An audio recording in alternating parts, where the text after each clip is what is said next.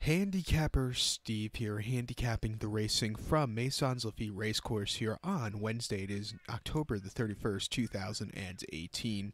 Gonna look at the stakes races on today's program from Maisons Laffitte, but before I get on to that, remember to please follow me on Twitter at Horse Racing Kid 5 for more selections for race courses around the world. We're gonna look at the stakes races, races 4 and race 5, both Group 3 races, both really good races. Let's get on to it. The fourth race from Maisons Laffitte, it's for the two year olds. It's the Group 3 Prix Miesque Stakes. It's uh, going for a purse $95,500. This race for two year olds only. Field of 10 horses going 1,400 meters or 7 furlongs on the turf course. Top selection. I like the two horse Stay Classy. I'm going to go 2 6 in the Forecast Exacta. 2 6 Forecast Exacta. Top selection of two horse Stay Classy. 4 and 1. Tom Queally's on this two year old filly by Camacho. The horse's most recent outing came the 29th of September at Newmarket. 7 furlongs and a two year old filly handicap. And the horse finished second by one and there. And, you know, the winner just ran a little bit better, but this horse, you know, had a decent turn of foot. It wasn't the world's worst race. I think coming to France today with a little softer ground, I think she'll do well. Before that, she ran at Doncaster 13th of September, six and a half Imperial Philly handicap. There she won by a neck, and she just held on to a very good victory, decent turn of foot. It was an all around decent effort. And then before that, Newbury, seven furlongs in a handicap, lower end handicap, finished second by neck, just missed at the end, but again, she ran a good effort. I like this one a lot here today, and, uh, you know, I expect her to run a big one. So, uh, you know, I'll take her as a top selection first time against stakes and group quality horses.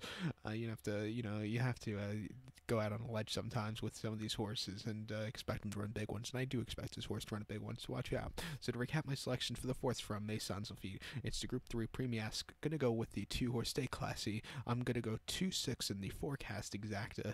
So now let's get on to race number 5. the fifth race from Maisons Laffitte. It's the Group 3 Prix de Seine-et-Oise Stakes. Hopefully I said that right. It's going for a purse $95,500, race for three year olds and upwards. Field of 12 horses going to post a distance of ground of 1200 meters or 6 furlongs on the turf course. Top selection, I like the 4 horse gold vibe. I'm going to go 4 1 in the exacta. 4 1 forecast exacta. Top selection 4 horse gold vibe. This 5 uh, year old horse by Dream Ahead. Christophe Soumillon gets the leg up for Pascal Bary. The horse's most recent outing came the 7th of October at uh, Longchamp. 5 furlongs in the, in the Group 1 Prix de l'Abbaye de Longchamp. The horse finished second by a head behind Mabs Cross. At 44 to 1, this horse ran a massive race. I had a little bit of money on him that day for place position but he ran very well there. He just missed at the end, but it wasn't anything to cry uh, home about. It, it, was a good effort there against some good horses. He's stepping back down to a group through which I think he could, he's in a good spot for him to get a victory here today. Before that, he ran the 18th September Longchamp, five furlongs in the Group 3 Petit Couvert Stakes. The horse finished 10th by seven and a half lengths there, and he just never had a good kick there, never got across the ground. It wasn't the day to win. And then the Group 3 Prix de Madrid Barrier at Deauville, August 26th, he finished 6th by 8 and 3 quarter lengths. First start off a little bit of a break. He needed the race. And then before that, he ran here at Maisons Laffitte and Listed Stakes at the end of June. He had a very good third place finish behind San Cieso, who won that day and is running back in this one today.